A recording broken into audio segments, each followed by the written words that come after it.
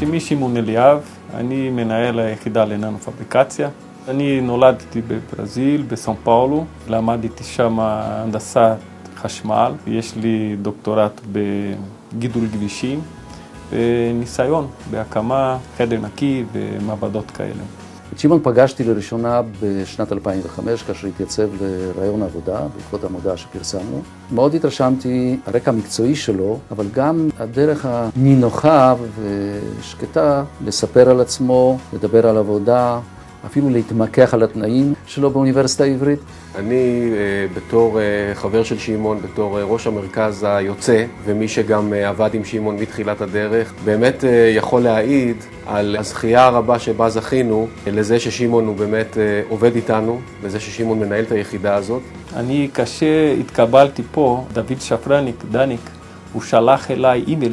והוא כתב, ברוך הבא למשפחת אוניברסיטה העברית. אחרי כמה שנים אני ממש מרגיש ככה, זה ממש משפחה. מרגע הגעתו של שמעון לאוניברסיטה העברית, בשנה וחצי הראשונות בעצם זה הפרויקט סולו שלו.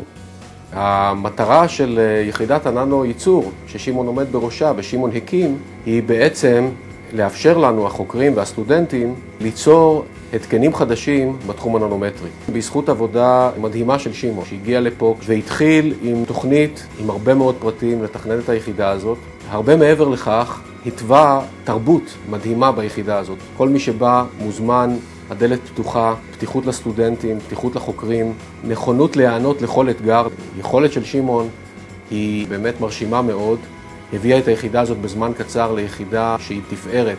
אנחנו מקבלים הרבה מחמאות והרבה סופרלטיבים לאנשים שבאים לבקר כאן. קשה לי לדמיין איך בכלל הסתדרנו לפני שהיחידה הזאת קמה. שמו של שמעון כבר הולך לפניו הרבה גורמים, גם בתעשייה וגם באקדמיה, אשר מתכננים מהלך כזה, באים לכאן להתייעץ, לראות וללמוד. היום אנחנו כבר עובדים עם 20 קבוצות מחקר פה של האוניברסיטה העברית, מכל הפינות מהאוניברסיטה, מחקלאות עד רפואה, וכולל פיזיקה, כימיה וכן הלאה. החוקרים, יש להם מעבדה שהם מייצרים כל מיני חלקיקים מאוד קטנים, שהם קוראים לזה ננו חלקיקים.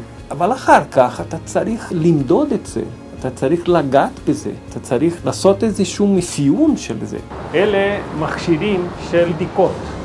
אז אחרי שאנחנו עושים איזשהו תהליך, אז צריך לבדוק מה יצא מזה. האתגר והפוטנציאל שיש בננו-טכנולוגיה הוא באמת אדיר. אנחנו בעצם עומדים לפתחו של עשור שבו אנחנו נתחיל לראות יישומים ננו-טכנולוגיים מגיעים לחיי היומיום שלנו, יישומים שבעצם גם עוסקים במחקר שלהם ובפיתוח שלהם ביחידת הננו-ייצור, יישומים כדוגמת תאורה חסכונית, יישומים כדוגמת תאים סולאריים חדשניים שיהיו יותר זולים ויותר יעילים מהתאים הקיימים היום, יישומים בתחום הביולוגי והרפואי, יישומים בתחום sensing שקשורים לביולוגיה ורפואה, כך שכל הפריצות דרך העתידיות האלה והפיתוחים העתידיים האלה באמת קשורים ויהיו קשורים ליכולות הטכנולוגיות והמדעיות שיש לנו ביחידת הננו-פבריקציה, יחידת הננו-ייצור, ששמעון מוביל ועומד בראשה עם התכונות המיוחדות שלו, ואני בטוח שהוא ייטול חלק מאוד מאוד פעיל גם בעתיד הזה, שאנחנו מסתכלים אליו בתקווה רבה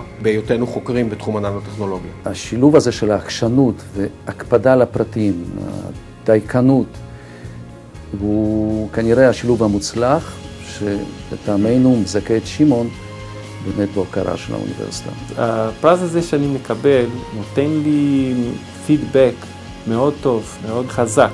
זה נותן לי פוש קדימה, שאני אמשיך ככה.